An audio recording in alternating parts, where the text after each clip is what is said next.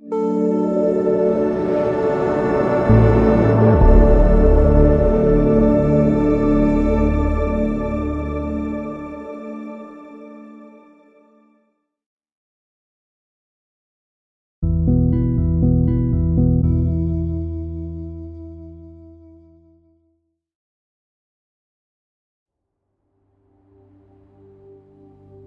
will begin here, for it is here that the story begins.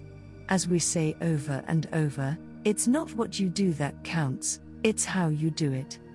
This is well and good to understand, but in and of itself it does no good without implementation within the being. It is here that all is sanctified, on the altar of being that allows all to come forth for anyone. Those who know better, attribute their achievements to the one and all of everything around you. It is only because of this that a failure is a failure, and a success a success.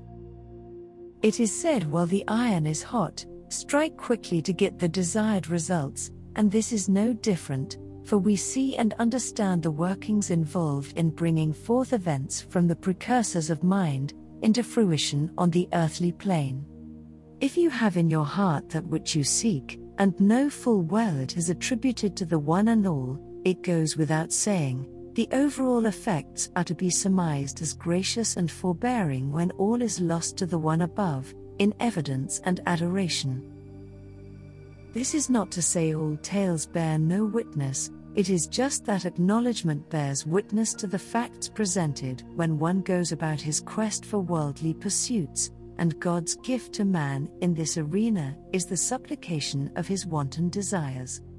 And so it is said, when in doubt, always give accolades to him above, always on the lookout to inform and undertake the next progressive steps to enlightenment.